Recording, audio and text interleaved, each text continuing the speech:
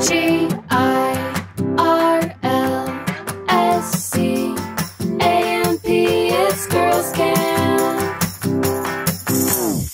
Hello, friends. Hello, campers, and welcome back to Girls Camp, or welcome maybe for your first time. And if it is your first time, I'm so glad you're here. I hope you feel very welcome, and I hope you stay a while. I am absolutely thrilled and honored. Oh, I'm your host, Hayley Rawle. Did I say that? I'm Hayley Rawle. Hi, the host. I am so thrilled and honored to be bringing you today's interview with Amber Fillerup. Amber is one of the most highly requested guests on Girls Camp, and I can absolutely understand why. I have followed and been inspired by Amber and her bravery and authenticity online for many, many years now. Amber, by way of formal introduction, has been an influencer for over 10 years. She started out blogging and has been influencing ever since. And she is also the founder of two very successful companies, BFB Hair and Dae Hair. She grew up Mormon and has since left the church, and we get to sit down in her beautiful home and talk about her timeline, why she left Mormonism, where she has landed now, how this has all affected her as an influencer and a wife and a mother and a business person. And there is just so much wisdom and insight. When I tell you I was hanging on to her every word, I mean it. And when I went through to edit the conversation, I was just hanging on to her every word again. It is such a rich and important conversation that I cannot wait to share with you. And I'm just so grateful to Amber for being willing to come on and share her story with me and with Girls Camp. You know, they say never meet your heroes, but meeting Amber in real life, she was just as lovely and magical and smart and wise as she seems. And I'm just, again, so honored I got to have this chat with her. Speaking of chats, let's do a little campfire chat. I want to talk about last week's episode really quick because I was so scared to release that episode. I don't know why I was so in my head about it. I obviously say all sorts of things on this podcast, and I am becoming increasingly comfortable to share all the things. But something about talking about temple stuff just really got in my head, and I was so nervous to release that episode. But I am so glad that I did. It has been so immensely healing for me to be able to talk with you all about your temple experiences and just to connect and relate. And not only about the temple experiences specifically, but about how much the temple experiences say about our Mormon experiences generally. I don't think I was expecting it to bring up so much for so many of us, but I'm so glad that we could kind of navigate that together. And I just felt really held in the space. So thank you so much for that. I also had a lot of responses about what I shared last week around friendship dynamics and friendship changes and how devastating and difficult that can be. So, one of you DM'd me and said, let's do a whole episode on it. And I absolutely agree. I very soon want to do a deep dive episode into adult friendship dynamics. And I want to talk about the faith element of that because I know a lot of you have had to deal with friendship adjustments due to changing faith. And I think that's an important element of the conversation, too. The last thing I'll say is just a tiny little recap of our trip to Phoenix. It was so much fun. It felt very, very nice to get away and enjoy some sunshine. There was a lot of work to do. We were pretty busy because I interviewed Amber and also the wonderful, amazing Emily Kaiser, whose episode will come out next Wednesday, which I'm so excited for. Emily was so much fun to talk to, and she shares such a wonderful story. But it was really fun to meet Amber, meet Emily, to eat a bunch of good food, to lay by the pool when we had time. And I'm just glad that I got to have that little getaway. It was fun to see Phoenix too. I think Phoenix is underrated. It was super cool. Bentley and I found some really cool thrift shops and then mostly just ate a bunch of food and I loved it all. So shout out to Phoenix, Arizona. We had a great time and I can't wait to go back. All right, that is all for today's intro, and here is the conversation with Amber Fillerup. Welcome, Amber, to Girls Camp. Thank you. Thank you so much for coming on. I have so much to talk to you about. We were already kind of talking earlier about all the things that I'm personally excited to hear that I know so many people are excited to hear from you. So thank you. Thank you for being no, here. I was I was telling Hayley you guys that I never thought I would do a podcast like this because I've always been petrified to talk about this topic. Mm. But like hearing you so confidently speak on these topics has made me realize like, okay, I can talk about this too and like just be confident about it.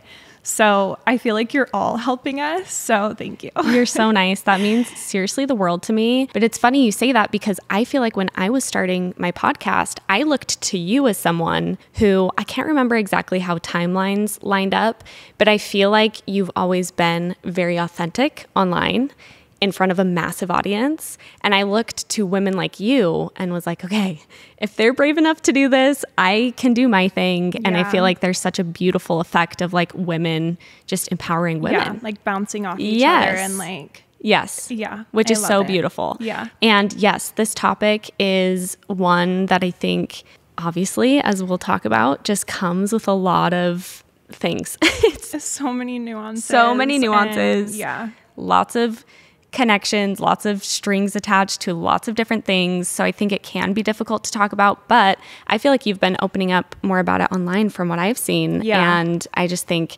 every time you do, I'm like, yes, yes, yes, I relate. I agree. It's so helpful. Yeah. So I'm appreciative of you doing that. And I can't Yeah. wait to get into it all I know. I'm so excited. let's start at the beginning. So, starting out with your relationship to Mormonism growing up as a kid, as a teenager. I would just love to hear what your Mormon upbringing was like. Yeah, growing up Mormon, honestly, it was pretty normal actually because my mom was a convert. So my dad baptized her oh, when wow. I think she was like 15 or 16 and they were high school sweethearts. They're still like adorably in love. Hmm. Her having been a non member, I think made her so much more open minded. And I grew up in Mesa, Arizona, just for reference, which is basically like a mini Provo. Like at the time, it was, I felt like it was all Mormons surrounding mm. us. So, very heavily influenced by Mormon culture. But my parents were pretty, like, they weren't super hardcore in any specific area of Mormonism. We were able to wear bikinis, or if we would travel, we could go in the ocean on Sundays. But I remember other families not being able to go in the ocean, they can't swim on Sundays or whatever. So they were pretty relaxed about a lot of Yeah, things. yeah. And then we also had my mom's parents, which weren't Mormon, and then her sister. So we always saw them drinking at family gatherings, and we would go to like their Lutheran church. I don't know, just different things like that. So I feel like I was exposed to a lot more than Mormonism, which helped so much. That makes a big, big difference. Yes, totally. And then like her second cousins were Jewish, so we would go to Jewish weddings and seeing all of that definitely helped me stay more grounded, I mm-hmm. think, which was yes. good. Just comparing my own experience, Mormonism was like the only thing, everything else was other. It sounds like you had more of a mindset of like, this is my thing, this is what we do, but it's not necessarily what everybody does. Well, that's what was confusing, I think, because at home that was very much the thought and sentiment, but then you go to church and hear all the things like you can only find true happiness through the Mormon church and just conflicting thoughts where then you start to be like, well, wait, but they're so successful and happy and you know, so how does that make sense? Totally. So, yeah, I think that part was definitely confusing. And it was more, as I've reflected on it, a lot of my confusion with the church did come from cultural things and like community mm. and not necessarily at home. Our church growing up, the standards were so high for kids and like specifically teens. One little thing I remember is being in high school and like certain kids who were like the good Mormon kids, when they would come up and talk to me, it was this feeling of like, wait, why are you talking Oh, to me? really? And not from a perspective, like a mean perspective, but literally like, I'm not worthy to be in your presence. Oh, like, I'm like a bad Mormon. You're a good Mormon. Are we even allowed to talk? Like, I always Mm-hmm. just felt like there was this disconnect between me and other Mormons because I do feel like I embraced my sexuality from a young age and always had a hard time with that. Why am I feeling drawn to exploring these things and other people aren't? So that was always Mm-hmm. very confusing for me. Yeah, that's such a good point because even if you're seeing other people living differently. You're going to church and hearing, we're the ones that have the truth, we're the right ones. They're not truly happy, which is really confusing and hard, especially if you're like, they seem happy, right? I want to get into more of that cultural dynamic with like the good Mormons and the bad Mormons. Can you tell me more about what that was like for you growing up? That sounds like it would feel really hard. Did Yeah. it make you feel insecure? What what did it feel like? Like I said, I definitely always knew like I got called a slut a lot. And I remember mm. feeling like, yes, like I am that. I almost like identified as that in certain ways. And it was just like very confusing. Like I always, even as an adult, would tell people, yeah, I was just a hard kid. I was just the hard kid to raise in the Mormon mm. church.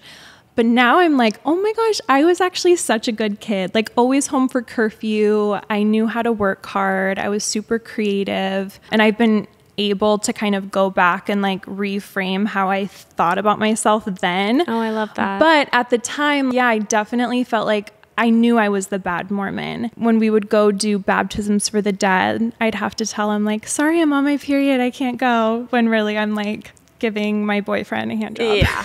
Like- and you like were told that you couldn't go. Yes. So I'd have to like go home and like be so embarrassed. Yeah. Or like do the whole bishop thing where they would tell you you can't have the sacrament for a month. And then you're just like so embarrassed. Like in front of my siblings, not taking the sacrament, that was a big deal. So I think it was just all those things that I always just felt like I was, something was like deeply wrong with me. Mm. Even with, and I know this is kind of a, people get like uncomfy with this topic, but like even with masturbation, like I remember feeling like something was so wrong with me. Like I was so embarrassed Yeah. by that. That's something like with my kids, I want to teach them that is completely normal. And not only is it completely normal, but it's so healthy. Yes. And like something you absolutely need to explore Mm-hmm. before you even think about doing something with someone else. Totally. So, yeah, I think it's just those topics that no one ever talked about. And Yeah. therefore, you're just like left to your own imagination, like what to do with that, you know? Totally. And like what that means about you and what it means about your worth and your goodness. Yeah, I so appreciate you speaking to that. It's so sad that things that are perfectly normal and healthy, like you just said, are so steeped in shame. Yeah. And it takes a long time to unravel that. And I think that's really beautiful that you're able to now say, oh, I, you know, want something different for my kids. Yeah. The biggest point of dissonance, it sounds like for you, or the biggest kind of rub against Mormonism was the sexual shame stuff. Yeah, for sure. And do you feel like you were being called a slut because people knew, like, oh, she's giving her boyfriend a hand job? Or was it because of the way you were dressing? Like, where did that narrative come from about you? I think it was both. Honestly, looking back, I kind of almost wished we had social media at the time because I do think there could have been a level of like, yeah, I gave him a hand job. Like, so what? Just own it and Yeah. like back up. Yeah. You know? So I do kind of wish I like had that tool just to kind of have that power over my life. At the time, you were kind of just in the hands of rumors and things spreading. And oh my gosh, we had just the most toxic moms, which I hope they're listening to. they probably are. Yeah, we had like the most toxic moms in our community. And so so many of the rumors would come from the moms. Yeah. There was like a group of like cool moms. They thought they were the cool moms. Yeah. And they had wealth and they had status in the church and all these things. Yeah. Like my friends would tell me, "Oh, I was over at so and so's house and I heard the moms talking and they were saying this." And so I always was just so confused by that. What do you mean the mom was? Like that was so confusing for me. And so yeah, I wrote an email to one of the moms basically just saying what you're saying is so harmful and it's harming me and it's also just not true. They always say rumors have like some element of truth to them and I'm like I know firsthand they don't always. Yeah. My boyfriend came home from his mission early and the moms went crazy saying I was pregnant and all these different things and I remember just being so upset that I was the one who was left to feel like I did something wrong. You know, shortly after, he did end up getting help for the things that he was struggling with. But I'm mm. like, But it was blamed on you. it was blamed on me. So I definitely took like I or felt like I took a lot of the heat for those types of scenarios. Yeah, that's so awful to feel that way. Yeah. Especially from other women in your community, from women that should be the people guiding you and Yeah. loving you and nurturing you. I feel like what's so bad about it to me, one of the things that's so bad about it to me is that they probably disguised it as, oh, we care about Amber mm-hmm. and we want. Amber to be sexually pure and like, can you believe Amber this and Amber that? And they probably felt justified in doing that because they were caring about you. But it's that's not it's not coming from a place of care. Yes. And you can feel that. Yes. When it's about you. Totally. And I felt true care. My dad, for example, I came home from drinking with my friends one night and they mm. always had me come into their room and say goodnight to them. I had the like Reese's pieces before I went in there, whatever the trick was at the time, but like I knew they knew. And he asked me to go to a baseball game with him. And while we were there, he's like, okay, so I know you've been trying some alcohol. Like, tell me how it is. And like, he just had a conversation about it. And I'll never forget that because to me, that felt like true love and like care. Him just not being judgmental, just genuinely wanting to know how my experience was and like how I'm feeling. Yeah. And so I'm like so grateful he did that because despite all the like messy things that happened with community, I did feel like that's how it, things should be handled. Good. You know? So you feel like in your home there wasn't that same shame and judgment. Yeah, for the most part, I think my parents struggled with other members would send them things a lot. So, like when I was in college, I did some modeling. When you're modeling, there is an element of like you kind of do what you're told a little bit. You're executing someone's vision. You know what I mean? So, I had to wear this wife beater and these like short shorts. I was posing with a guy, and someone saw the photos. Now, looking back, I'm like, Oh, are you kidding me? Like I would post those Is it today so mild? as if it's you nothing. Should, you should post them. I know I should wanna find see. them. but someone sent them to my mom and was like, I am horrified. I thought you Oh, would be gosh. too. Like, you need to see these. I do see how, as a mom, that would be so confusing. Like, on the one hand, it's like your peers who are essentially telling you, like, you need to be ashamed of this. So, I do think sometimes they maybe fell into doing what they felt like the community wanted them to do, which mm. was be upset with me for that.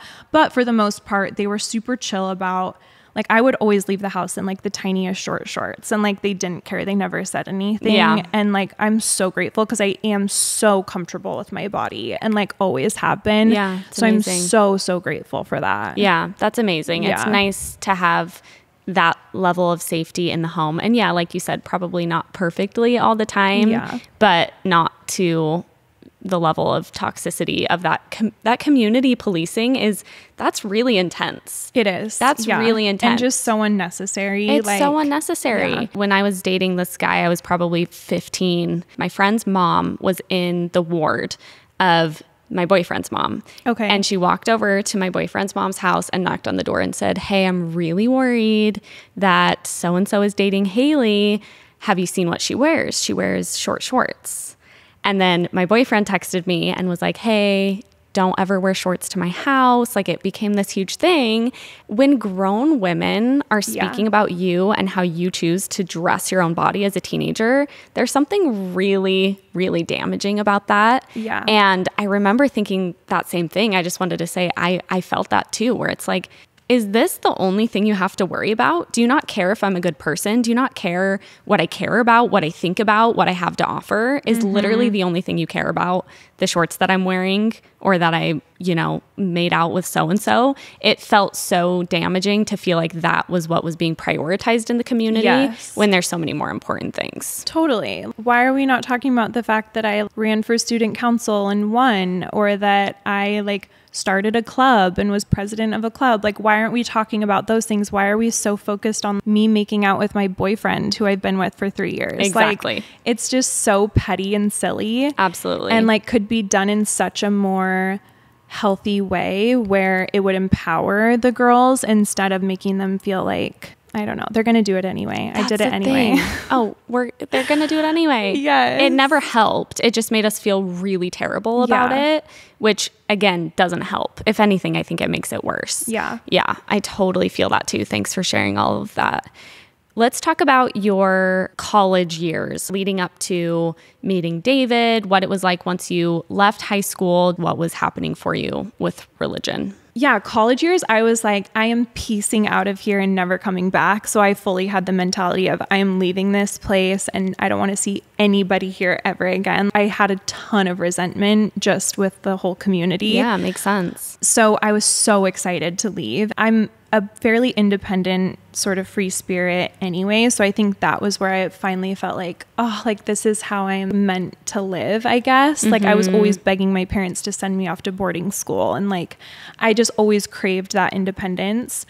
So that's when I feel like I started to try to figure out what does the church even mean to me. And at one point I remember being like, when I read the scriptures, I totally tune out. I don't take in or and absorb anything, honestly. And so I was like, I'm going to really make an effort and like try to learn about these people. So I started making these flashcards.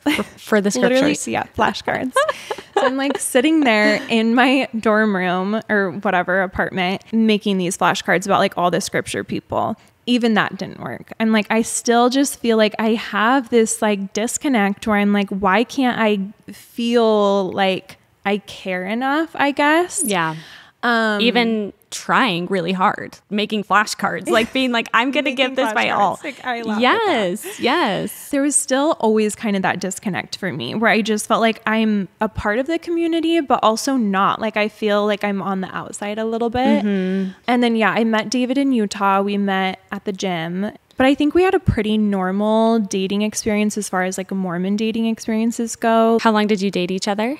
We dated for about a year and then I kind of gave him an ultimatum. Toxic of me. You were like, marry me or Well, I was like, let's be official. Yeah. Or like, I want to date other people. Yeah. I was like 21, I think. Okay. And so I also felt like so much pressure to get married, which is probably why I was like giving an ultimatum. Mm-hmm. Because I was definitely the last of my friend group Yeah. to get married. Yeah, crazy as it is, that's older, I Yeah. would say, for sure. Yeah. You went to college in Utah. Did college bring you to Utah? I went to UVU at first and then I can't remember if I like fully transferred to BYU or I think like people who couldn't get into BYU like did spring and summer or Mm. Yes. something. Somehow I was at BYU Got without it. ever getting accepted. Like the spring summer Yes, I do. Yes, I You do know what I remember mean? that. Uh huh. So I was doing classes there, but just felt like I cannot get myself excited about this. This feels like it's not for me. So then I went to hair school. Got and it. that's when I was like, this is it. Like found my this thing. is yes, I found Amazing. my thing, like found my happiness. Amazing. Yeah. Oh, I love that. Yeah. Okay, so then you're in Utah, you meet David. I'm curious if being in Utah as a Mormon, it sounds like you were trying to kind of figure it out, like maybe noticing this doesn't completely feel like it's doing that much for me. And at that time, you were in Utah, which is intensely Mormon. So I'm curious kind of what was happening during that time period. It sounds like you were trying to figure out doctrinal stuff. Was there cultural stuff going on, or where would you say you were at? I mean, I wish I thought more about it, honestly, but I think it's so laid out for you as a teenager in Mormon culture. You're going to go to college. I mean, if that, as a woman, it's like True. maybe to meet a guy, Yeah, go to college. but like you're going to meet someone, you're going to get married, have kids. And so I I never really like thought about anything more because I was just like that's my path. I just have to find a guy and like the rest will work itself out, I guess. Yeah, that's So- what we do. Yeah, totally. so I like wish I put more thought into it all, but I honestly can't say I did. So many of my thoughts at the time in those years was like how to meet guys, how to impress guys, all those things. Totally. And so It makes a lot of sense. I feel like I relate where it's so expected. You kind of just go to church and try and date. And I think that speaks to, I've never really thought about it this way until you said that, but I think it speaks to the power of having these kind of goalposts in Mormonism where the church, I think, is really good at being like, just focus on getting married or just focus on getting on a mission. And you kind of don't worry as much about the other things because Mm-hmm. you're focused on, okay, this is my next thing that I'm supposed to do. It's what everybody is doing. Yeah. That takes up a lot of mental energy and just time.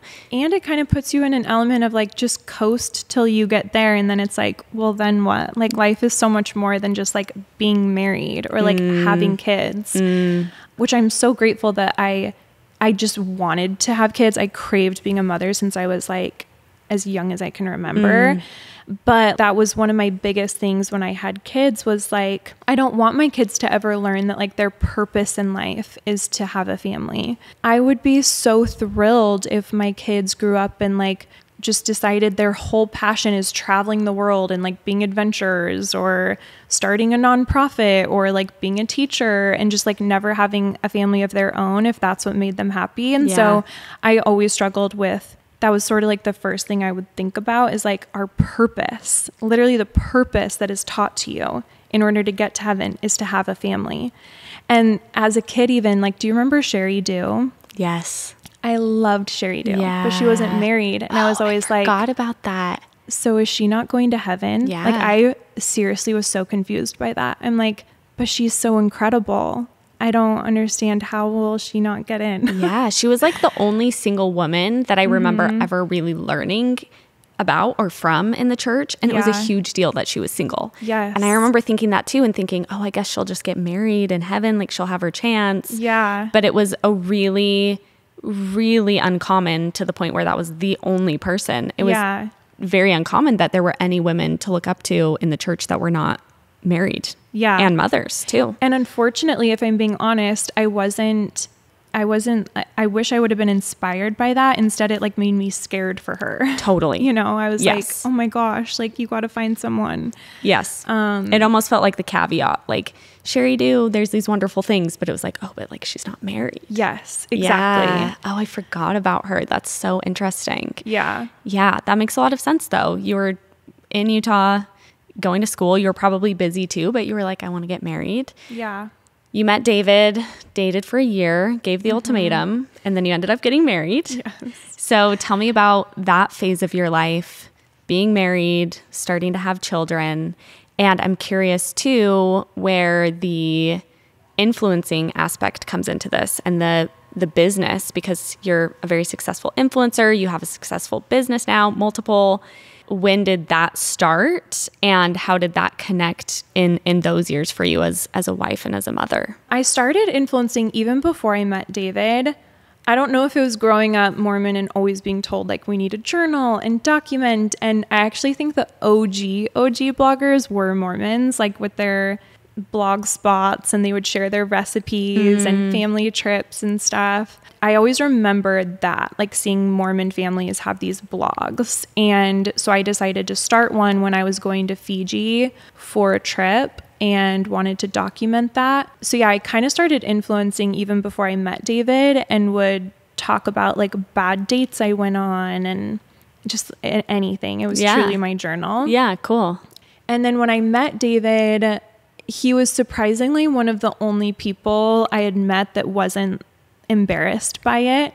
Because at the time it was very cringe to like be doing that. It was Uh-huh. not the normal thing to be taking a selfie. People didn't really even know what the term selfie was. Yeah. So I don't like I don't think there was a term for it yet is what I meant. Anyway, so he I always loved that he just fully embraced that. He thought it was so cool and like he's always been the type where it doesn't matter if everyone is saying one thing, like he really thinks for himself, I mm-hmm. guess. He always encouraged my blog. When we got married, I would say the thing that played into it was obviously our temple marriage. Yeah. And I remember I'm like kind of hopping all over the place. It's great. But Chronology is too hard with this stuff, so I, I don't even hard. worry about it. I don't know where I am in my timeline. Okay, marriage. My mom took me to go get my temple dress. I remember just sobbing, having a full on anxiety attack about I didn't know what at the time. I was like freaking out thinking like am I not supposed to marry David? Am I like Mm. what is going on? I honestly think I was just so devastated in that moment that like I always pictured my wedding and then you don't even know what you're going to wear until you go try on your temple dress. And then you're like And you're like, um, I have no choice in the matter. Like this is just what I have to wear. And it sounds so petty, but I am super into fashion. I've always collected magazines. I've loved following trends since I was a young girl. So, like, that was honestly a devastating moment for me to be like, I have to wear this. I don't want to. And honestly, if I'm being totally honest with myself, at the time, like I didn't even care to get married in the temple. I was truly, I Mm. think, doing it just because it was like the thing you're supposed to do. And I didn't see any other option as a possibility for me. So I'm like, I guess I'm This gonna is what do I have it. to do, and this is what I have to wear. Yes. Yes. It's crazy because I went through the temple before I went on a mission. So you have more time to kind of like mentally adjust Yeah. to how crazy it can feel, at least how crazy it felt for me. But when you're getting married, I just feel like it happens more quickly because it's like you're getting married, you're planning a wedding, and then it's like, okay, this is what the temple is and this is what you have to wear. And at that point, like you said, it's like you want to get married, you want to marry this Yeah. person you love. So you're like, I guess this is just how I do it. This this is just what I do. Yeah. How was your temple wedding? I honestly feel like I spaced it all out. Like I don't know if I was like dissociating the whole time, but Yeah. I think I was mostly just like sweet. I'm like stoked to be married. Great. But like Yeah. I even remember not the sealing part, but the part before I fell asleep and David like nudged me. Like I was just I don't want to act like I was I wasn't super interested in it. I was just interested in getting married, which like that's all you should be interested in at that point. Like let's be Absolutely. honest. Yeah. I, I just remember being stoked to be married and that's it and being bummed about the rest and trying just like to get over it Yeah, I can totally relate. It's kind of just like, well, I guess this is what we do, but Yeah. at least I'm married and can like move on from there. Totally. Yeah, that makes so much sense. What would you say if you could characterize your relationship with David? And I'm sure it's changed so much because how long have you been married now? How many years? um it'll be 11 years or no i think we have been married 11 years So it'll be 12 years Yeah. soon. That's amazing. Yeah. I'm curious how you would characterize, maybe in those early days too, how much was Mormonism like a part of your relationship? And, you know, you got married in the temple. Was it a big connection point for you two or or not so much? I don't think so much and i'm so grateful actually especially since we've both left now Yeah. I think we're both pretty creative. We love traveling. So I think we connected on many more things. Like we never really talked about church. We went together, I guess, but we weren't like reading scriptures together, praying together, any of that. Yeah. It's not really my personality to do that anyway. Like we would go to the park and like read other books together, but just mm. not like it was never like a spiritual thing Yeah. together. And I feel like we've definitely grown together spiritually without the Mormon aspect over the last 11 years, but I don't think it played like a huge role in our marriage, honestly. Which is really nice. Yeah. Yeah. I'm especially really glad. now. Yeah. Yeah. Cause I can definitely see how you could grow apart really easily if that is the main thing. Totally. Yeah. And then you change on Yeah. that. Yeah.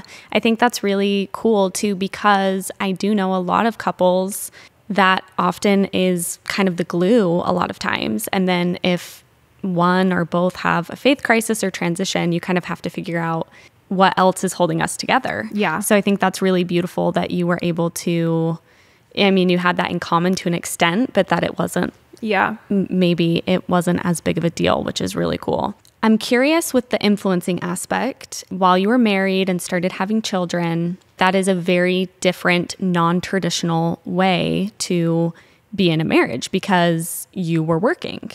And I'm curious if you could speak to being an influencer while you were still Mormon and while you were a mother kind of what that was like for you, what the response of the Mormon community was, what the response of maybe the greater community was. So from day one, like having garments was super hard for me, really, really hard for me. And I remember I did this photo shoot, which I'll have to send you the photos so everyone can see because Please. it's hilarious. So I did this photo shoot and posted it. And honestly, when I posted it, I had no reservations posting it. I was like so stoked with how it turned out, all these things.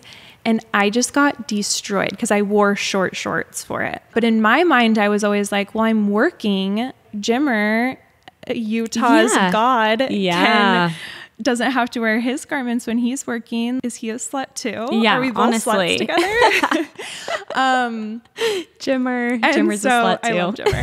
Jimmer's our fellow slut. Um, anyway, so I was just floored, like really genuinely taken back by the response. And I think that's the first time I can remember being like gut punched by the community where I'm like, oh, ouch, that hurts. I didn't think I was doing anything wrong. And now I'm made to feel again like I'm just I should be embarrassed and like shameful about this thing. And that would continue for the next however long. Oh, at one point, I even got a letter from a neighbor that said, my in laws, they said, brother and sister Clark must be so embarrassed and disappointed to have you as a daughter in law. I remember like ripping that up. I was like, David cannot see this. Because you start to feel like, does everyone think this or is this an isolated opinion? I was still so young. So, like, I didn't have the confidence in myself to be like, whatever. I Yeah, to be like you're you." out of line. Yeah. Why were they saying he should be embarrassed about what you were wearing online specifically? Mm-hmm. Yeah. And I'm I'm definitely the type where like if I know someone's mad about something, I do like to mess with them a little bit. I can't say I wouldn't sometimes not wear garments just to like Mhm, poke the bear a a little. yeah, like I have fun with that yeah, good. a little bit. Good as you should. And David was always from day one. Like I'm so grateful that he he never made me feel bad about it ever. He was always like, do what feels best for you. He's always made me feel very free to question whatever I wanted or take a step back or whatever. And then obviously like he was going through it with me too. He was equally as offended by all the comments and stuff. So we were kind of both dealing with that together. But then fast forward, we lived in New York, and New York was amazing because that was our first experience where in Relief Society, they would pray to Heavenly Mother, and people would voice cool. concerns with the church, and they would wear pantsuits. They would talk about their frustrations with the church's stance on gay marriage. And I had never heard anyone question anything in church. For me, I was like, oh, this is amazing. Like, I have always had these questions, but like, I didn't know I could say them out loud in this setting. Mm-hmm. And so I just felt like I have found my place. Like, these are my people. I love that I can learn and grow from them, I guess, instead of feeling like I have to be this like cookie cutter Mormon. And so I was just telling David about like how I just feel so like I'm in the right place right now. We were supposed to come to New York, whatever. And then I got on these forums. I don't get on them anymore, but at the time I would get on them and read what people were saying about me. Yeah. And someone got on and was like, okay, here's all the deets. I'm in the Clark's ward in New York. David gave a talk. It was about this. They were like nitpicking the talk. They're like, Amber comes to church every day dressed like she's going to go, I think they said like into Broadway or something. Oh gosh. Um, anyway, like they would give updates every Sunday. And so I think what people don't understand is like when you're in that scenario, it's anonymous. So you don't know who said it. So when you go to church, you're thinking, was it you? Was it you? You're kind of on edge around everybody at that point Of because you're like. I don't know who's doing this. And so I kind of looked at everybody like, are you my friend or are you not my friend? Can I actually trust you? And then it got to the point where I'm like, I don't, I'm, I'll never say another prayer in church again. I don't want it to be nitpicked. I'm not going to say yes to any talks. I'm not going to give lessons because I was just too insecure if they were to go report on what I said. Like, yeah. Anyway, so that totally effed with me really, really bad. It was almost like my final straw where I'm like, I'm just done with being a part of this community. I don't want to say that I'm in the same community as these people who think it's okay to like say that and do these kinds of things. So I think that was sort of where it all started to unravel. Yeah. Honestly.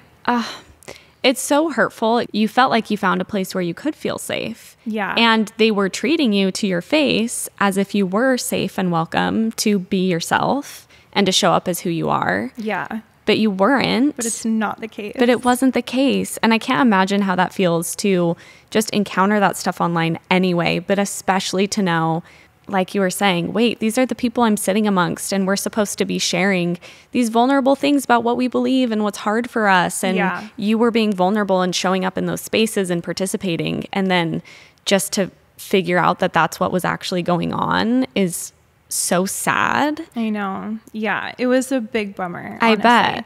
I'm sorry. That's really shitty, honestly. It just feels really, really sad to me that people feel like they have the right just to speak Yeah. that way about anybody, especially in the context of like we are churchgoers together. We are members of a faith community that ultimately at its core should be about being good, kind people. Yeah. And it sounds like that's what it was challenging for you is like, is that really the case? Because Yeah. now you've seen in your community growing up as a teenager with the moms, and then you're seeing this in New York as an adult with your fellow peers. And it's like the community was not doing what it should do, which is be loving and kind. And that would be really hard to be on the receiving end of. Well, and I can see how someone who doesn't have a following, they just are in their ward and those are the only people that they associate with. I can see how you could have a lovely Mormon experience, honestly, if you have a good ward.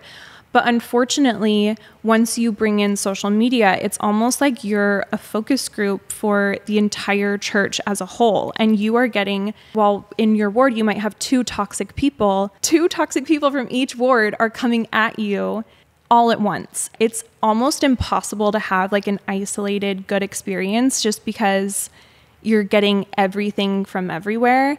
And honestly, like if I look at just my community here, I totally could have thrived with all like they're just incredible people. And like even when we told them that we had left, and I try to bring it up very casually and like confidently because it is a happy thing for us that Yeah. we left. But I'm sort of getting ready to hear the like, oh, I'm so sorry to hear, and kind of gearing up for that response. But I feel like our ward has done the opposite, where like one person even said, oh, I'm so happy for you, and just casually said that. And I was like so taken back, like, you're happy for me? Thank you. it Yeah. is such a happy thing. Yeah. Yeah, I just think they are wonderful people, but it just is too hard as an influencer to have a good Mormon experience. That's such a good point. I'm so glad you said that because I'm at the very beginning of kind of witnessing that myself, where, especially talking about Mormonism on the podcast, often critically, it's hard to not have a really negative kind of taste in my mouth about Mormons because of how incredibly cruel so many of them are toward me now. But I think it's a good counterpoint to remember that doesn't make up all of the religion by any means. But I also think it also doesn't mean that there's not something to really be considered there. That there's a religion that's emboldening people to speak that way and to behave that way and to think that way.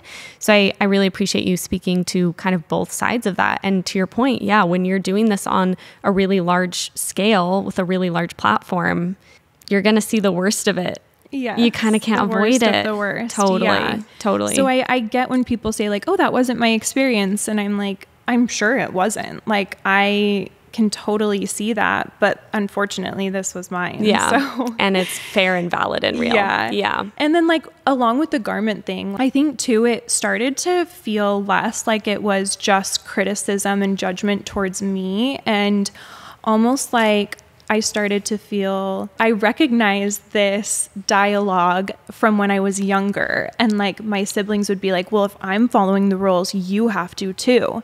And it, kind of gives those vibes where it's like no if i'm following the rules and wearing my garments, you better too.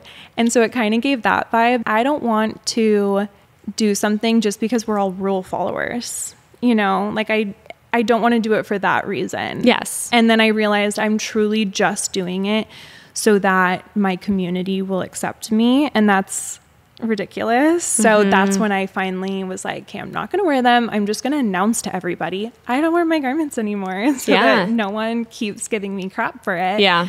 So that was kind of like where I first announced to everybody that, which an announcement unfortunately was necessary. Yeah. Or else you're going to get a thousand DMs every Yeah. time. How was that announcement received? Honestly, so good. Like it was the biggest weight lifted off of me.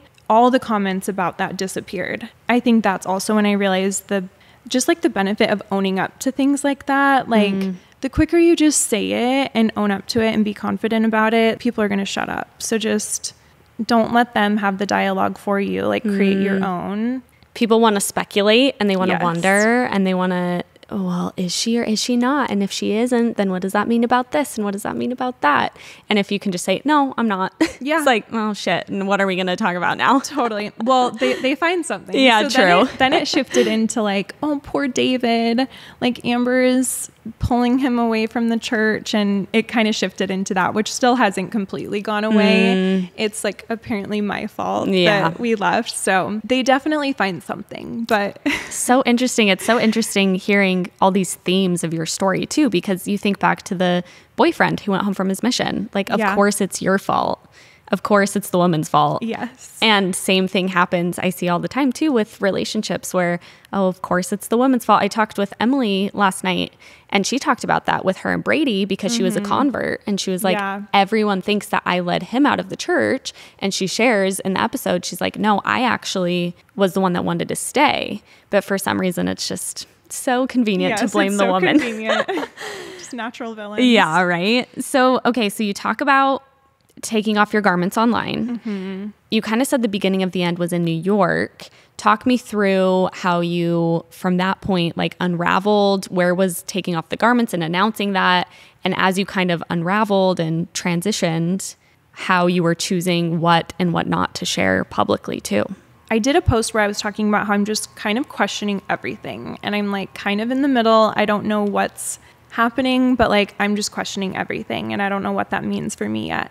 And I told myself going into that, I didn't want to feel like I needed to be on a timeline just because I started questioning things I had to leave right then. Like, I didn't want any outside pressures to influence this decision. I just wanted to like take my time and go at the pace I wanted to. I don't know. I think it just opened up so many more conversations with people who were like, oh, I actually feel the same way. And then I was like, oh, there's so many of us that feel this way. And then you start to feel free to explore more thoughts and thoughts that like when you when you're young and growing up Mormon, it's like doubt your doubts, not your faith. Like mm-hmm. I cannot tell you how much I heard that. Yeah. When I read the CES letter, I felt like I was doing something so bad, like so dark and scary. Yep. And now I realize how toxic that is to teach people that. It's one of the most toxic things about the church, honestly, that they teach not to look into anything, just look forward and have faith Just and like believe. it's absolutely crazy. And I think recognizing how toxic that is, just not only in the Mormon church, but literally in any scenario, was when I fully embraced all the information. And once I did that, it was game over. I think it's almost impossible at that point to deny that the church just doesn't hold the same values. And like, even when I told my kids that, when we told our kids that we were like you might have noticed we haven't been going to church. We're not going to go anymore. We're kind of starting our own journey. Here's the reasons. Like we were explaining gay marriage and just that I don't want them to feel pressure to get married in general or all these things. Like in their minds, they were like, oh, yeah, are you kidding? Like, to them, it was like, duh, like we don't believe in that as a family. So I did love that reaction from them. Yeah, that like we really have cool. instilled in them those values of like anyone can love anyone. And they know that in their core that like when I told them the church doesn't believe in that, they were like, yeah, why would we go? Mm. And so for me, that was like, okay, yes, we're doing the right thing, you know? That's so beautiful because it sounds like even within the church, in some capacity, you and your family were really aligned morally and like with what you believe in and prioritize enough so that when you said, "Oh yeah, we're not going to go to church anymore," it was like, "Well, yeah, because we believe all these things anyway." That, I think that's a really beautiful testament to.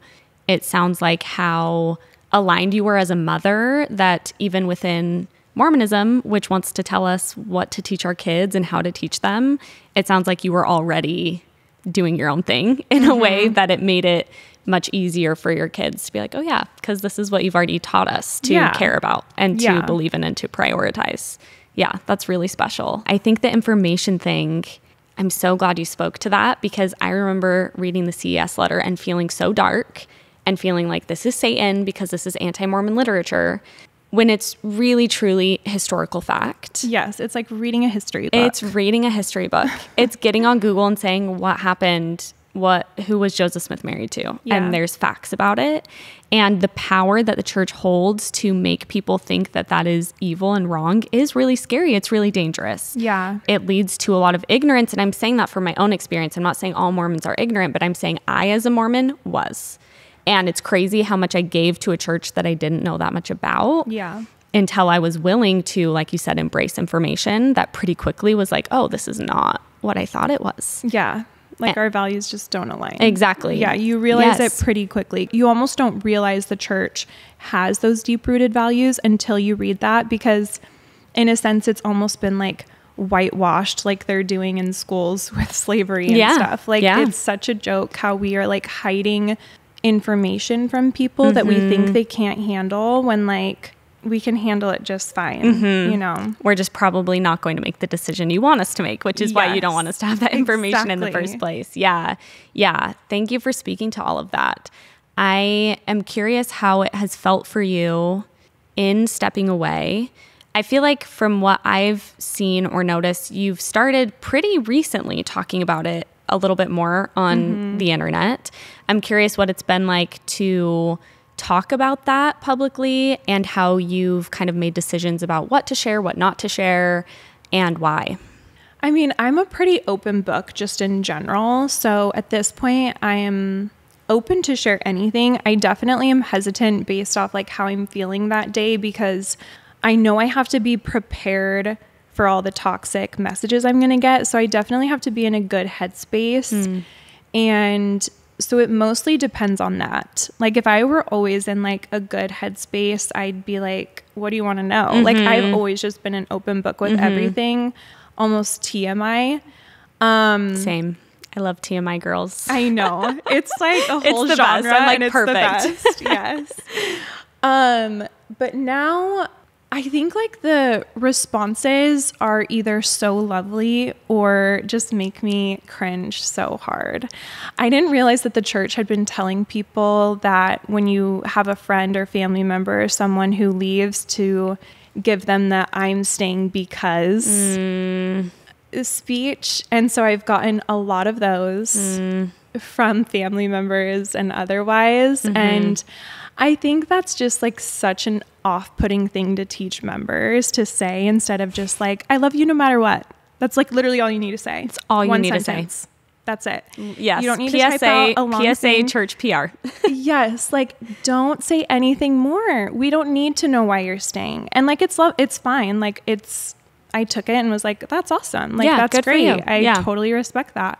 But I just don't know that it's necessary in that moment to say that. Mm-hmm. Um or helpful. It's just not going to do what they think it's going to do. Yeah. yeah. And then other people just saying like, I know how much you loved being involved with the youth. Like I'm so sad for you that you Mm. won't be able to do that anymore. And I'm like, what about me leaving the church says I can't be involved with my community. Like I absolutely can still be involved with the youth in my community and absolutely will, but now I won't feel like I was teaching Sunday school and telling them, I think you can love whoever you want. And like I was Hell always yeah. worried that I'm like, I'm going to get fired. Yeah. And I eventually resigned myself because I'm like, I just feel like I can't even teach lessons anymore at this point because I just don't agree with what I'm teaching. Yeah. So that was like a big wake up call too for me was having to teach lessons and be like, I don't buy any of this. So that too definitely like sped up the process. Yeah. But yeah, I think it's just telling like I have been so inspired by seeing how confident you are about all of it because sometimes I feel like I can't be. People want to find a reason to feel sorry for you. Mm. And and your new scenario, I still feel like I can have the same life I had before. Like for example, growing up, I loved that my family did family home evening and that we had dinner at the table every night as a family and had a prayer. But like looking back, I it's not because we had a prayer. It's not because we sang a hymn. It's because we just spent time together as a family. So like we have dinner at our dinner table every single night. David cooks. We go around and say one thing we're grateful for. That's like our version of a prayer. We still do family night and like the kids get to pick the activity and like lead it all. They have assignments. So I feel like I can still give my family the same structure, mm-hmm. but like instead, our Sunday lessons are just things I've learned that have like expanded my mind that week that I just want to teach my kids, and they don't have to be religious at all. So I don't feel like our life has been impacted at all by leaving. And I feel mm-hmm. like people just don't understand that yet. Even with the community, like that was one reason why David was really hesitant. He didn't want to lose that. And I kept reminding him, like, we're not going to, because the people we want to associate with are not going to care if we leave the church. Exactly. And if they do, they are not in our circle. Yep. Like, period, end of story. We don't want those people in our circle. Mm-hmm. So I think it was just like recognizing all those things that like our life really doesn't have to change actually. It gets much easier and more exciting. I love So- that. The church does have a lot of good things about it, but those are not unique to the church. No. And the things that are unique to the church are the things that I find really toxic or really problematic or unethical. So you can take everything that you've learned and loved about community, about family structures, about yeah, how you relate to each other in a family setting. You can take all of that. It's not reliant on reading the Book of Mormon. It's not reliant on saying a specific prayer. I think people in the church, it's hard for them to imagine that. And I also think it's, I love when people speak to this because I think it's so beautiful and lovely to take those good things and try them out in new ways or implement them a little bit differently. Yeah. But realize, oh, all these things I loved, I still can do. I still have. The church does not own family home evenings. No, the church do does not. not. own community. Yes. There's so many things that we're so used to being connected to the church that it's nice to remember like no none of that was ever unique to the church and if anything it's like cool i can take that from my upbringing and apply it in a different way Totally. Yeah, like we've been toying around with the idea of instead calling it family magic night and it's like a night where the kids have to plan something and there just has to be an element of magic to it. So like if we're playing soccer as a family, maybe we like jump in the pool in our clothes after or like maybe we have a dance to Taylor Swift but like Rosie gets to pick if we all wear pink or like sparkles or whatever. It just has to be something silly and fun. Yeah, it's not unique to Mormon community to have traditions and just like structure, you know? yes totally So, Totally. I want to talk more. I know you said some people asked this when you put up a question box about parenting post Mormon. Yeah. And I think you are universally inspiring as a mother. You inspire me deeply. and even just hearing about a magic night is so special. I'm like, please, can I come? That sounds amazing. I see in you as a very outside observer, but this really unique just kind of lust for life. And it's really cool because I think Mormonism, at least for me, kind of reined it in almost. It's like, no, this is the way we do things. This is the way we talk about the magic of the universe. This is the way we relate to. Yeah, I just love the word magic. Eh, But Mormonism had these like formulas for that. And I see in you and I sense from you just this kind of really expansive, abundant way of looking at life and of putting that into your family culture. And I just think that's so beautiful because it feels like you kind of have free rein now, right? Yes. And that's so fun and it's so, freeing. exciting. Yeah. Yes. That's why when people say like, "Oh, I'm so sorry." I'm like, "No, this is like a really fun, exciting thing for me." Yeah. I think Mormonism can kind of be a crutch for people where it does kind of rein you in like you were saying where you don't feel free to just let your mind wander and expand. And like before i would have never contemplated the magic of the desert but then i'm like i've been reading all these books about just how spiritual the desert is and like all these tales and stories about the desert and the animals and I mean, even just like old Native American history and the stories they mm-hmm. believe and the rituals, like all of that is so magical and cool. And so now, even when I'm in the desert, it has like a whole new meaning meaning to me where I'm Yeah. like, oh, I see a coyote. Like maybe that's like a sign of something instead of just being like, oh, scary coyote, move on with life. It's like, I don't know, like everything can almost take on a new meaning, mm-hmm. which is so cool to me. And just as we travel as a family, just taking little bits of what we learn from different cultures and like adopting that into our own life. And I would love if like my kids grew up and they were just a hodgepodge of beliefs that they heard from other people or saw from other cultures. But yeah, I think it just allows you to be like, I don't know, like how can I make life like the most magical totally possible, you know? yes in Yeah. ways that feel good and makes that feel good for the moment too like Yeah. you're saying i love that concept of pulling from different cultures and theologies and spiritual modalities and just being like what feels right? What feels nice? You were talking about this earlier with reincarnation because you were saying rosie was asking you about Yeah. that. And how lovely to be like maybe that's it. Yeah. let's talk about it. What what would we want to be? Or why do you like that idea? That's so lovely and beautiful and i think helpful for kids too to be able to learn like oh this idea resonated with me and now i have permission to just explore that idea and mm-hmm. think about what that idea means. And it doesn't have to be right or wrong. There doesn't have to be proof of it. There doesn't have to be a spiritual authority telling you. Just to give children that permission and yourself as an adult that permission is so wonderful. Yeah. I know it's so fun because we were talking about how it how we got on that topic was we were going over Taylor Swift lyrics and I was mm. telling her my theory, well many people have this theory that bigger than the whole sky is about her having a miscarriage, which then mm. led to her asking what a miscarriage is and like why I think that so we were going like line by line and she talks about how can't even remember the line now something about like a bird flying over Japan and like kind of hints at what I think my baby who died reincarnated in this way. Um, I'll have to find the exact lyric, Yeah. but um, and then so we got on in the topic of reincarnation, and for her that just like totally resonated. She's like, I love that. She's like, I think I'd want to be anybody or anything, just not a fish. and like, I think you can totally make those rules for yourself. Oh, yes, absolutely. And I agree. I would, uh, fish freak me out. So I'm with you, Rosie. I love that. I love that. And I love how Taylor Swift can have these spiritual meanings or be spiritually a, a spiritual catalyst for these conversations. Yes. Just opening it all up. We can treat it all as equal too. Because I think when I was a Mormon, there was still some aspects of like, oh, I can read some poetry and that can mean something to me spiritually. I didn't feel like it was necessarily off limits, but it wasn't equal with the Book of Mormon. For sure. It wasn't equal with what President Nelson said.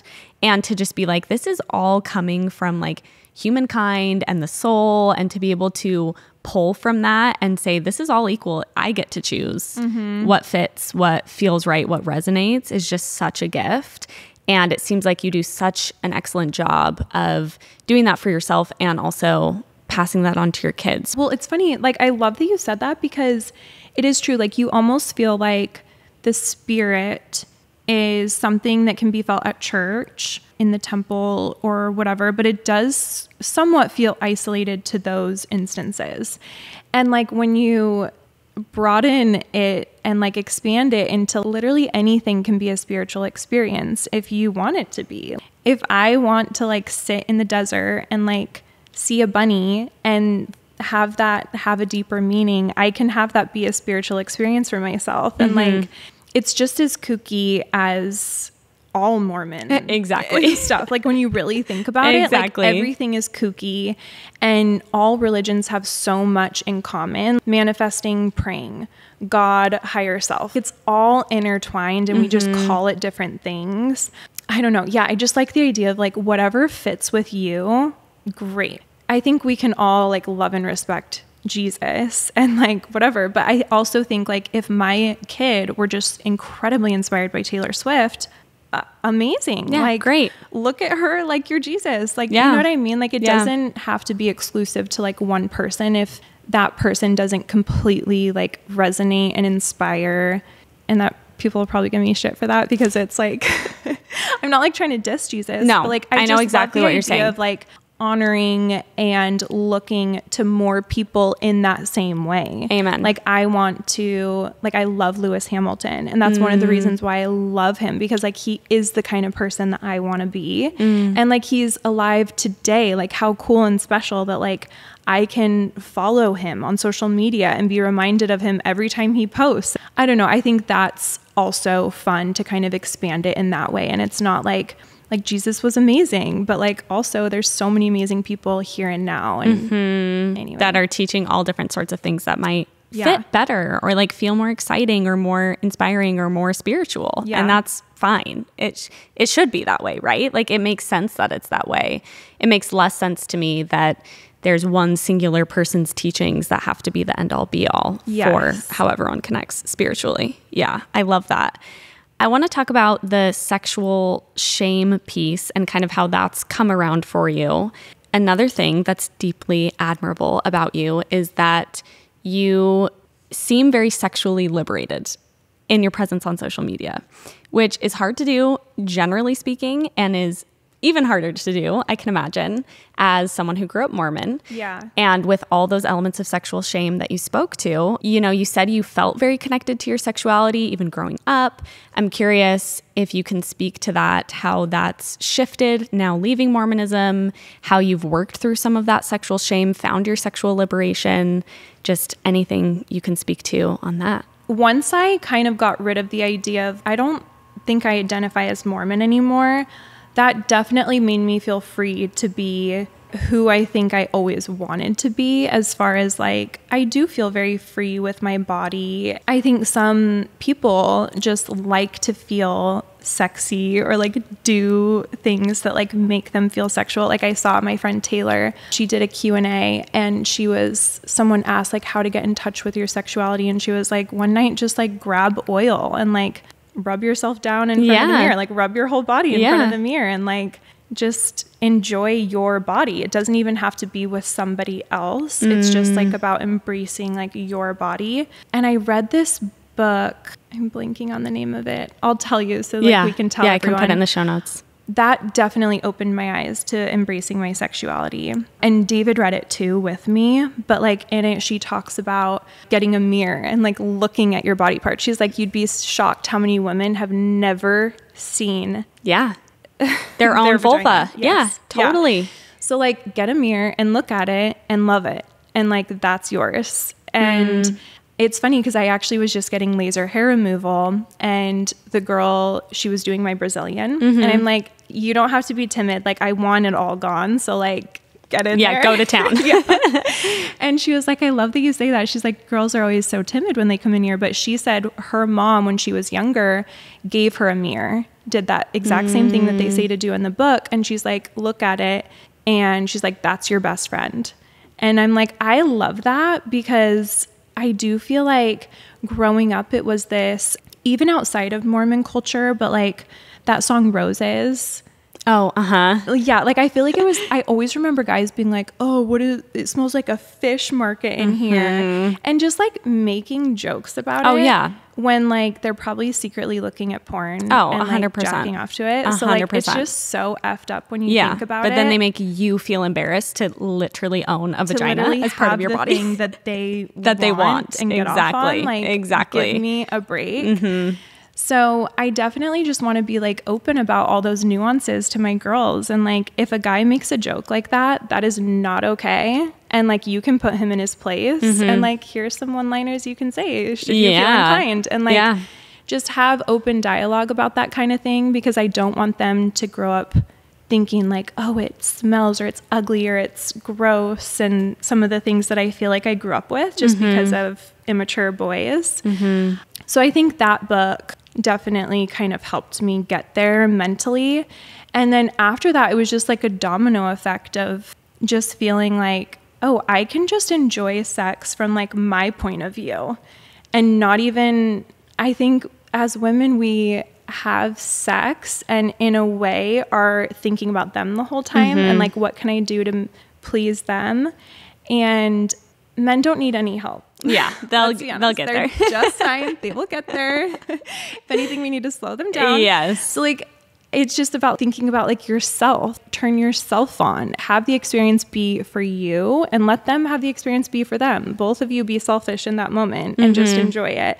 I think that was definitely like a turning point for David and I because it it felt so much more fun and like freeing and it took the resentment out of it where it was like it's not all about him even like on a subconscious level so yeah, I don't know. It's just been like fun and exciting to like read different things, hear others' experiences, and like try different things. Like Taylor said, like grab oil and like rub yourself down in front of a mirror and like just look at your body and feel it. Yeah, get comfortable with that. yeah, like I love that. I love that too. I so appreciate you speaking to that because it's crazy how radical it almost feels to speak to that when it's really not. It shouldn't be a radical concept. No. To enjoy yourself and to be connected to yourself sexually and to have sex for your own pleasure ultimately. But it feels kind of radical and it, It feels really radical to speak to that. But it's so important because I think one of the most long lasting harmful effects, at least for me, of Mormonism has been shame around sex, shame around my own body.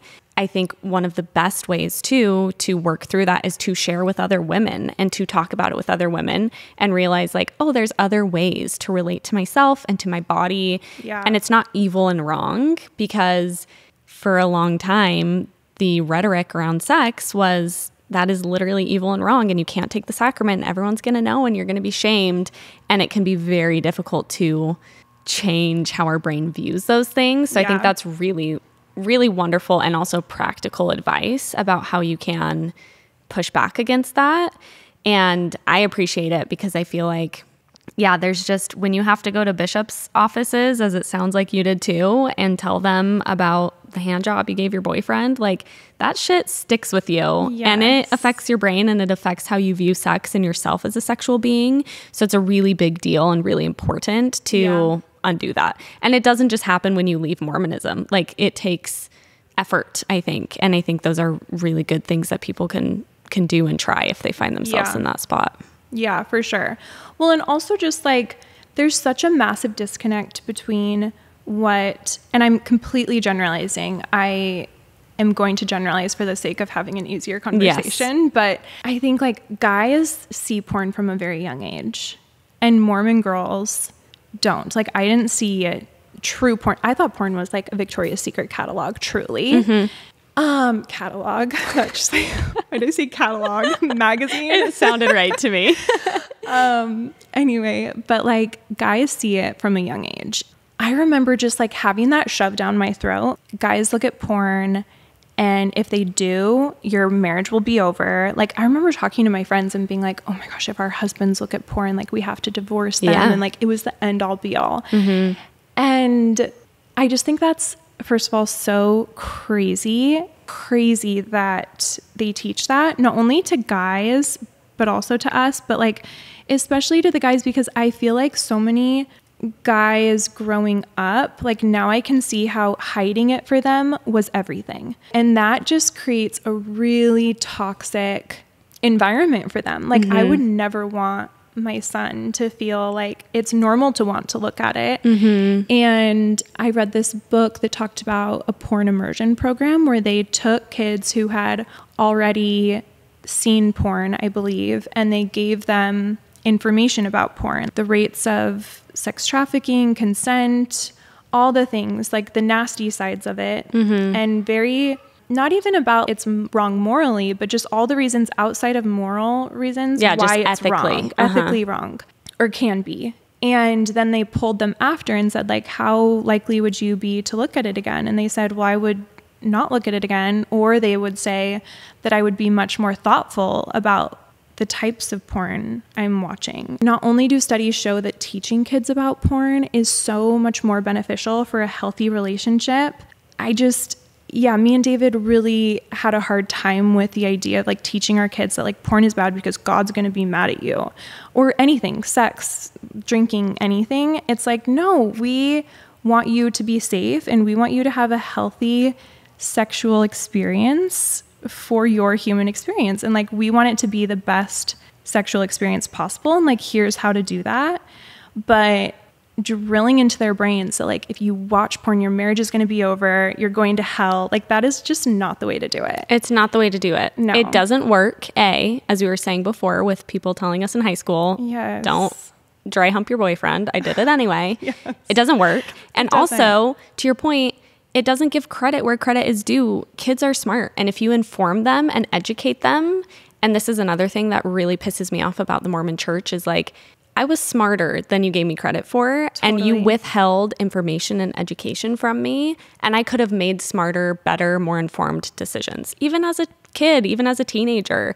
And it sounds like that sounds like a really high priority for you and for David is information education and you see a that works better and b i just think it's so much kinder and more respectful yes, to kids Absolutely. Like I gave this analogy on my Instagram a long time ago, and apparently sex analogies are like a no-no, but for me, analogies are everything. But I was saying how like when Rosie is at the age where like it's appropriate to have this conversation, like I would more so look at it like if she were to go on a trip say the trip is sex. Like Yeah. I want to know who you're going with. I want to help Mm. you pack. I want to help you be safe. Like if the airline screwed you over, I would want to help you like deal with that. Yeah. And like I want you to have like the best experience possible. Like maybe there's vaccinations you need or Seriously. like things you need to pack to make sure you have the best funnest time on that trip. Like I want you to have a really fun trip. I don't want this to be like a traumatizing trip you come back from, you feel taken advantage of and like you never want to go back there again. Like I want you to come back and like want to scrapbook it. yes i and like love so that i i just want to teach our kids like we don't even plan to teach our kids at all that there's like a god who's going to be upset if you do x y or z like that's just not how our brains think anymore like that was really the tipping point for david was like i just no longer believe in a petty god that's up there deciding what what matters and what doesn't coffee yes no uh, whatever you know so anyway I love I'm like that. ranting but No, it's amazing. It's so helpful. Being able to give kids like, oh, let's look at porn objectively and talk about what's good about it, what's bad about it, what it can do to your brain, what it can do to your sexuality, as opposed to like God will punish you for looking at porn. and your wife will hate Yeah, you and you're gonna ruin your marriage. because what's that that's teaching them feel shame about it and hide it at all costs Absolutely. And that's just wrong Which just perpetuates the shame cycle too. Yes. They're just going to do it, but they're going to hide it better. Yes. Absolutely. I love all of that. You said a lot of people asked in your question box about alcohol. yes So let's talk about alcohol. I think it's so funny and not like funny, silly, because I always wonder this too, but I think people are always really curious about alcohol. So tell me about your alcohol journey.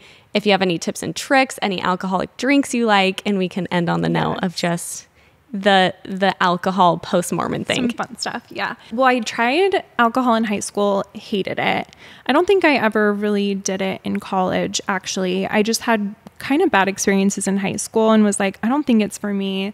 So yeah like i guess i always leaned on like well it's gross. I didn't have a good experience whatever because it really wasn't the church telling me not to have it i definitely am more on the rebellious side like that's not going to stop me so You just actually didn't like I it. I just actually didn't Yeah. like it. But then it got to the point where once I was more open minded with all of that stuff and kind of got rid of the idea that like there's a Satan trying to tempt me and all of that, I think I w- really looked at alcohol or I started to notice more that like for couples, it was really bonding. Like they would, we have friends who drink wine at night and they just sit on the porch and drink wine and chat. And of course, you can do that without alcohol. But then my aunt and my cousins, they'll go on these wine tasting tours together. I love that it can be a bonding thing that like brings people together. So yeah, me and David were like, okay, let's we want to be like social drinkers and like have those experiences and when we're older like go on wine tasting tours with the kids or whatever so fun. um so we went to italy and that's the first time we were like okay let's try some drinks together so we would try different wines we loved an aperol spritz which is hard not to love I know. I just had my first one. It's so good. it's so good. Yeah. It's been fun to like go out with friends. And it's funny, I was actually just with my investors at this conference and there were some other founders there and a couple of them have alcohol companies and mm-hmm. hearing them speak about alcohol i was like wow i aspire to have that kind of passion about something. Like they would try something and be like oh i'm sensing a a pear undertone and like how they mm-hmm. would describe it. I'm like that is just really cool. Like for people i guess i always looked at it like this thing that satan's tempting you to do and you party and you're irresponsible and like all these things. And i'm like no it can actually just be like a really wholesome artistic Amen. thing that's like really fun. And anyway so i'm kind of just going at it from that perspective. Like i want it to be a fun bonding thing or be creative and like really think about it like what notes am i tasting and smelling and like just have a whole experience you know Yes, it's very artful. It it's, is. It It's really very is. artful. People are very passionate about it, and it's so fun, even as an adult, to step into that world and realize, oh, there's this whole world. Coffee's kind of similar, right? Yeah. There's a whole world of types of coffee and types of alcohol that are so fun to explore and to try, and to realize it's actually this really beautiful culture around these substances. That's, yeah, not just crazy party culture. Yes. and I just went to a friend's wedding and a bunch of friends of mine, we've never really gotten like drunk together since leaving the church and everyone got like pretty drunk and it was so special and so bonding. So, So fun. bonding. Like people I've been friends with for 10 years that I'm like I've never bonded with you in this way. yeah. And it was really cool to be like alcohol can be an amazing tool when used responsibly. It really can. And to be like, whoa, we got to have this like really fun, uninhibited, just like dancing and laughing. Yes, just be silly. Yes. Especially like if you are more reserved. Like I'm very reserved and I feel like it takes me a few times of hanging out with someone before they even like barely know my personality, Mm-hmm. unfortunately. But I do think alcohol helps with that and like it has helped me a lot with overcoming that, I think, in those social experiences or situations, I mean. But yeah, I think it definitely can be used in like good ways and you can still be a responsible adult. Exactly. You're not going to all of a sudden become an alcoholic or get a DUI. Like you can use it responsibly. And actually, stepping into that world as an adult can be really nice because, yeah, I'm obviously more responsible now than I once was. And it's fun to be able to be like, oh, I can use this in a responsible way and in ways that actually enrich my life. Yeah, totally. Yeah. It, it does kind of work out good that like we're coming around to it now with like our healthy routines and like the self awareness and all of that. Mm-hmm. Exactly. It's like kind of the perfect time. I so agree. I agree. fun. Okay, I feel like there's still so many more things I could ask you about, and we didn't even touch on your business, which is so inspiring and so cool. There's always just, you know, Mormonism touches everything, so it's Yeah. difficult to touch on everything that Mormon touches.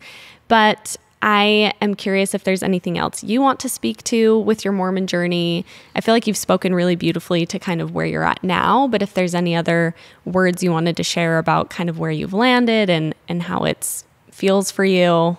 I mean, I don't think so. We touched on most of it. I did write afterlife was like a big topic that like weighed heavily Mm. on our minds. I just wrote a blog post about it so anyone can go read that if they want to hear more. But yeah, I mean, I think it's just like kind of fun to navigate after. It's like it's just like a fun journey. So I'm like so excited that you are doing these interviews because it is really nice to connect with other people who are in similar situations and like I was saying like hear their beliefs and like maybe take on one of their traditions or something. So I feel like we can all just kind of build our own like post Mormon routines and whatnot. Yeah. Which is fun. So I love that. Thank you for having me. Thank you so much for coming on. Oh, one thing I wanted to tell you is a friend of mine, I think, was like, Oh, you're interviewing Amber Fillerup. Are you nervous? And I was like, Somehow, just through the internet, I already feel very safe.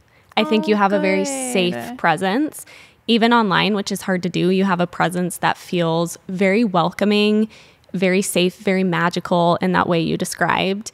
And I was like, oh, that's so sweet that I already feel that way about this Oh human that I haven't even met. you. And so I just want to say, I know that you're that for a lot of people. And I know that you stepping into post Mormonism and doing it in the way that you're doing it is helping so, so, so many women. So thank you for doing that, for being brave, for paving a path for women to speak publicly about what's on their mind and what they're thinking and feeling. I think you are a huge part of the domino effect that's letting women like me feel like we can do that. So oh, thank you. Thank you so much. Of course. Thank you so much for coming to Girls Camp.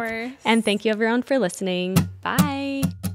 G I R L S C A M P. It's Girls Camp.